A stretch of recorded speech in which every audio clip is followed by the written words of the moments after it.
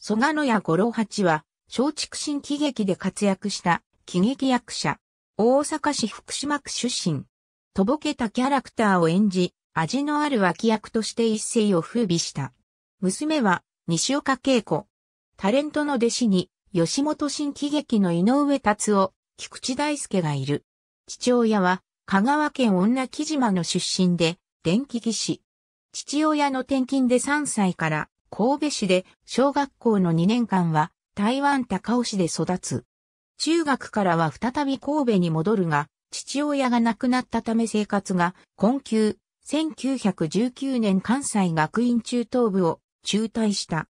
子供の頃から野球に熱中。1920年に大蔵省土木局野球部から新国劇野球部へ引き抜かれたが、力不足により1921年に三島健之助を名乗り舞台俳優に道を変え初舞台。その後1929年に同志座を結成。1939年、蘇我野五郎一座に入り蘇我野五郎八を襲名する。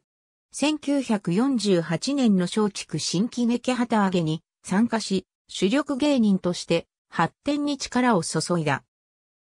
1966年、松竹新喜劇を退団してフリーになり舞台、テレビ、映画と幅広く活躍した。